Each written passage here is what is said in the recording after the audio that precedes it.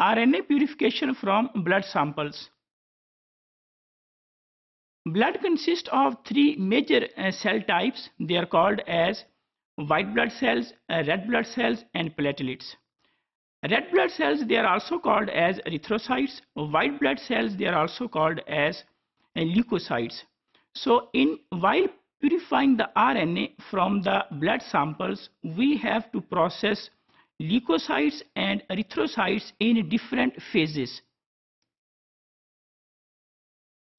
In case of erythrocyte lysis, uh, before purifying the RNA, uh, erythrocytes have to be lysis. In case of lysis of the erythrocytes, is usually with the help of lysis buffer, as there is no nucleus in the erythrocytes, so within erythrocytes there is no DNA or RNA.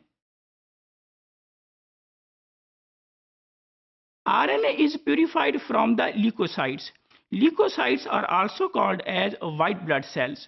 These cells, they are nucleated. They contain the nucleus and within the nucleus there is genetic material that is DNA and RNA. So while purifying the RNA, we should be targeted towards the leukocytes because RNA is present in the leukocytes. The lysis of the erythrocytes is just by adding lysis buffer. By adding the lysis buffer, erythrocytes, they disrupt their cell membrane, disrupt or ruptures and by centrifugation we can get rid of the red blood cells or the erythrocytes.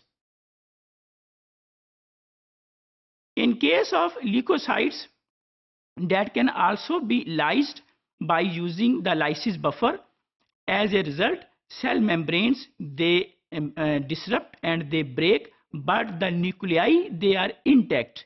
So uh, the RNA is present within the nuclei. So nuclei or we can say RNA is intact which is present in the nuclei and nuclei they were present in the leukocytes.